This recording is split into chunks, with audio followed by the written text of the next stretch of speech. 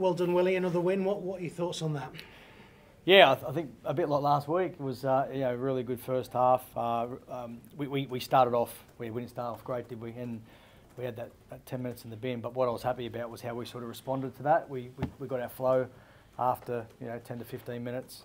Um, found our groove and, and I thought we'll obviously we we're well in control on the scoreboard and um, uh, yeah and, and, we come out in the second half we had a plan that we wanted to build it again uh, we did make a lot of personnel changes which I don't think we handled too well um, but obviously it was deliberate um, I just think we, we probably went we started playing more as individuals um, more so than than as a team. Mm.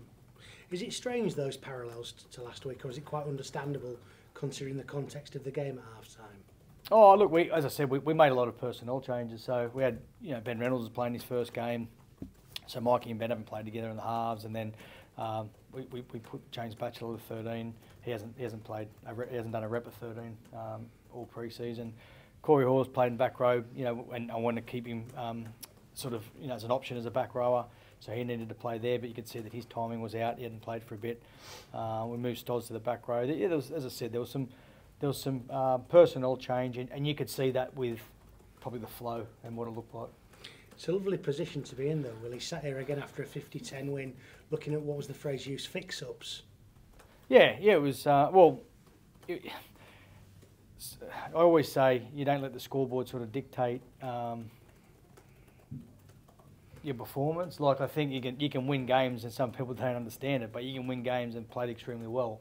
Um, but there's bits and pieces in that game that didn't go your way, um, but you want to hold on to a lot of it for going forward. And, and on the flip side, I think you know there's a lot to like about what we did in that first half. Um, plenty to like what we did, and then obviously in the second half it was a, as I said, there was an opportunity there because of the scoreboard to be able to move some some players around. Um, and, and, and, and it showed. You, you could see that.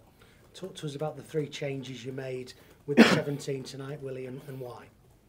Um, Dean Hadley had a tight calf, so he he could have played. That's why he ended up um, he was 18th man, but it was more so that we didn't want to risk him. Uh, Jez Litten, um, I, I, wanted to play Ben, and I didn't know what that looked like, uh, whether it was going to be at hooker or, or at half. Uh, so Maddie um, I knew Matty could go play a full game if, if we needed to, so we rested Jez. Uh, and there was one more, Joe Burgess, who's got a, he had a, we gave him to a captain's run. He's got an Achilles, um, which he didn't pull through. So that's why we made those changes. And I wanted to give Corey, um, and I said Ben, and uh, who was the other one? Louis.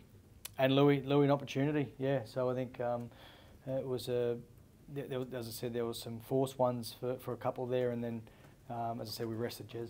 Did they take their opportunity? Yeah, I think they did. I think, I mean, Louis, Louis obviously had a couple of errors there in the second half, which um, which he needs to, to, to work on. Um, but I thought he ran strong. I thought he uh, uh, his effort was good. So that, that, that's what I mainly look at. Uh, yeah, as I said, there's some individual sort of fix-ups there for him. Um, you know, Ben Reynolds' first game took the line on a fair bit. I like that, and, and it's his first hit out, so he'll, he'll be better for that. Um, and, and Corey Hall, uh, you know, back row is probably not his most natural position, but, you know, Corey's gives us effort and, and he competes. And, um, you know, I, I, didn't mind what he did tonight as well. You give Jez a rest, Matt Parcell scores a hat trick. There's a, an argument you've got two of the best hookers in the competition at this club, isn't there?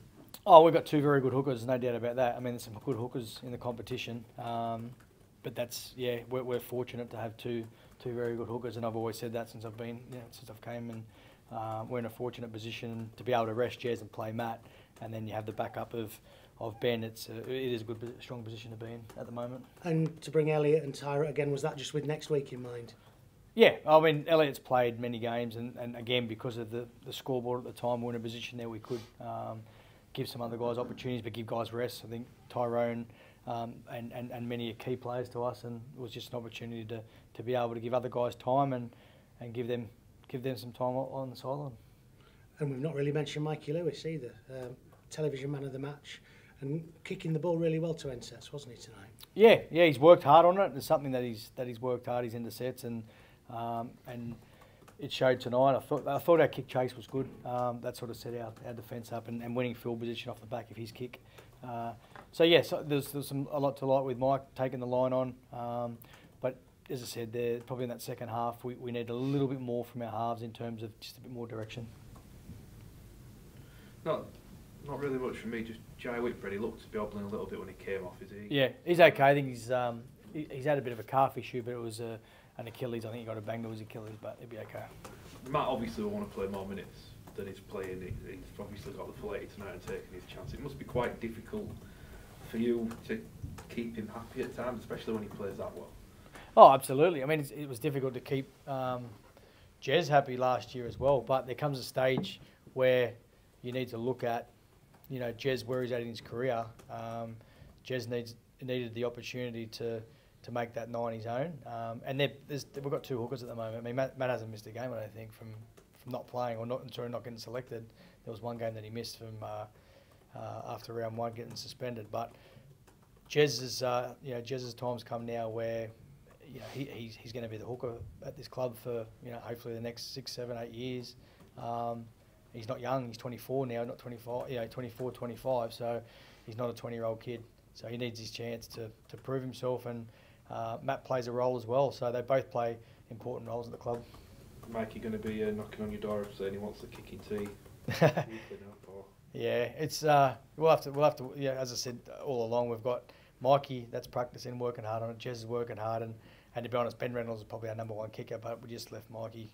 I don't think we scored actually when uh, when he came off, but Mikey was still gonna um, he was still gonna kick. So we'll work out. I think um, Jez at the moment, and then we've, we've still got Mikey who, who, can kick as well. So it's good. We're starting to be in a better position there. I am not asking about the the uh, the tip tackle just to try and you know get a reaction, but obviously with disciplinary and everything, and big game next week, are you worried about that one? The, the I don't know. I don't think it was that bad, was it? Yeah, I, I, what from what I saw, I don't think it was that bad. So um, he was pretty shocked to get ten, but it is what it is. So yeah, I, but in saying that, I haven't, I, I couldn't see it clearly enough to go how bad it was, but uh, he got ten. That's for me definitely enough from, from what it looked like. Willie, sorry, on, Willie, have you got to sort of temper the players for next week because obviously the fans are out for Challenge Cup revenge, so to speak. Uh, how are you looking at it from your perspective? Yeah, well, we've played them twice since then. Um, so for me, you know, the last year's last year. It's a it's a new new challenge this year. It's it's um, yeah we're playing in the quarterfinals of the, of the cup for 24, so it's not about last year anymore. But we had.